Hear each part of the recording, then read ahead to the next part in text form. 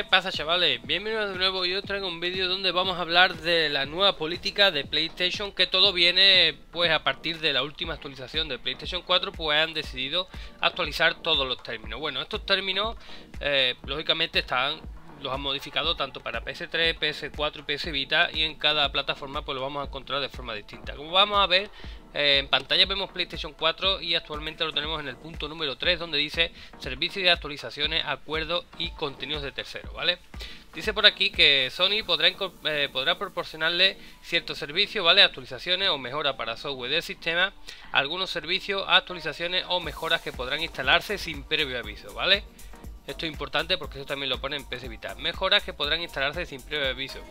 Cuando inicie usted sesión en PlayStation Network y otros estarán disponibles a través de la página web de Sony u otros canales actualizados, ¿vale? Y dice que usted autoriza a Sony a suministrarle estos servicios, actualizaciones o mejoras. O sea que le estamos dando nuestro permiso. Los servicios pueden incluir las últimas actualizaciones o descarga de las nuevas versiones de software del sistema con parches de seguridad, ¿vale? Nuevos sistemas o configuraciones y opciones revisadas con el fin de prevenir el acceso a contenidos no autorizados o pirateados.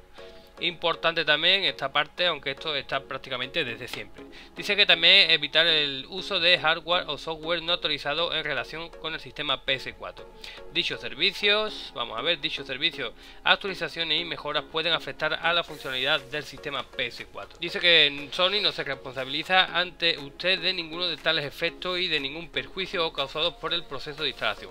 Esto en PlayStation 4 viene eh, exactamente en el punto 3 como hemos visto, pero también en PS Vita pues ha lanzado que se han elevado un poco la alarma, o sea, la gente ha empezado a decir, oye, ¿esto qué es? Esto es nuevo, bueno. Deciros que prácticamente esa, política está desde siempre, vamos a verlo en PS Vita, ¿vale? Vamos a pasar a la pantalla de PS Vita. Y en PS Vita está exactamente dentro de términos de servicio y acuerdos de usuario en el punto 15, donde nos dice actualizaciones de software y cómo pueden afectarle, ¿vale? Esta es una foto que está rolando mucho por ahí, está pues bueno, pues mucho por internet y la verdad pues todo podemos verlo en nuestra PC Vita. A mí personalmente no me ha pedido activar esta, estos nuevos términos porque digamos que al hacerlo en cualquiera de tus consolas te va a pedir eh, activarlo o aceptarlo, yo lo he hecho en mi PS4, ¿vale? Con lo cual en mi PC Vita directamente ya vienen como aceptado. Bueno, dice aquí en el punto 15 que acepta que podamos cargar actualizaciones automáticamente en su sistema Sony cuando conecte el sistema a internet y o cuando inicie sesión en su cuenta para comprobar que su sistema funciona adecuadamente de acuerdo con los términos de servicio o para mejorar la funcionalidad o características. Además, su sistema Sony puede descargar actualizaciones si lo tiene configurado para que lo haga automáticamente o puede solicitar manualmente que su sistema las descargue, ¿vale? Y aquí pues nada, acepta que estas actualizaciones pueden actualizar el sistema operativo u otro software, causar pérdida de datos, eh, ser utilizado por, por usted cumplimiento bueno, cumpliendo estos términos de servicio y usted acepta que no tendrá derecho a una devolución en relación con cualquier característica o funcionalidad modificada o eliminada, o por cualquier pérdida de datos relacionada con una actualización de software. Bueno, lo que viene a decirnos aquí, este, este, bueno, esta nueva política es que ellos, supuestamente, ¿vale? Aunque lo dudo, ellos pueden actualizar tu sistema no creo que lo hagan, ¿vale? Simplemente de toda la vida tenemos las actualizaciones automáticas que nosotros las vamos a, cancelar para que el sistema pues no se actualice de forma automática. Como veis también dice que nosotros podemos ponerlo eh, de forma automática que se descargue o no se descargue. Bueno, esta política realmente no sé si alguien anteriormente las ha visto y ya, ya existían, ¿vale? Eh, creo, yo creo que no hay forma ahora mismo de volver a la política anterior y comparar lo que había o lo que no había en pantalla. Yo creo que esto mismo siempre ha estado, simplemente que nunca hemos dado cuenta, ¿vale? Eh, no se conocen casos que nadie le haya cargado automáticamente una actualización. De todos modos, yo os aconsejo a todos que quiten las actualizaciones automáticas de su sistema y que traten de jugar por wifi lo menos posible, porque si directamente lo que van a hacer es pasarse un juego en modo historia y demás, pues quita el wifi de la consola, ¿vale? Es como consejo. Yo personalmente, ¿vale? Con, bueno, yo tengo PS3, la tengo hackeada desde siempre. Eh, bueno, PS4 la tengo normal porque no se puede hackear ahora mismo. Y yo hasta ahora nunca nunca he tenido una actualización automática de nada, ¿vale? Vamos a darle aquí atrás a esto. Ahí está.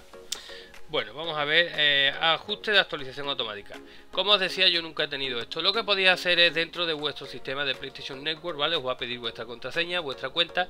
Simplemente le damos a ajuste de actualización automática. Y nosotros aquí, pues fijaros, yo quizá al aceptar todos los términos, pues se han vuelto a marcar las casillas. Así que mucho cuidado, simplemente le damos a vamos a quitarlo todo, ¿vale? Subir datos, a, los datos los vamos a quitar también porque no quiero que se suba ningún dato de ninguna partida guardada, no quiero que se sincronice ningún trofeo con el servidor, no quiero que se descargue archivo de actualización para aplicaciones y tampoco quiero que se actualice mi sistema automáticamente. Importante, tenéis que revisar dentro de vuestros ajustes, ¿vale? Dentro de vuestro sistema de PlayStation Network ¿Vale? Aquí lo tenemos, vamos a esperar atrás. Aquí está dentro de PlayStation Network. Ustedes vayan a entrar y vayan a quitar los ajustes automáticos recordad desmarcar todas las casillas y como no el wifi. Bueno si no vaya a jugar online ni nada de verdad yo lo apagaría vale yo apagaría el wifi y del mismo modo pues empieza tu partidita y juegas tu juego.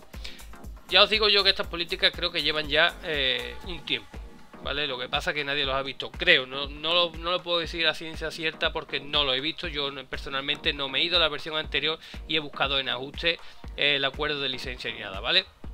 Así que nada, no preocuparos, está atento al sistema wifi, intentad conectaros lo menos posible, esperemos que no vengan, eh, noticias, lógicamente, de actualizaciones eh, que no hemos querido nosotros instalar. Yo en mi caso ya lo tengo todo quitado, espero que con eso sea suficiente.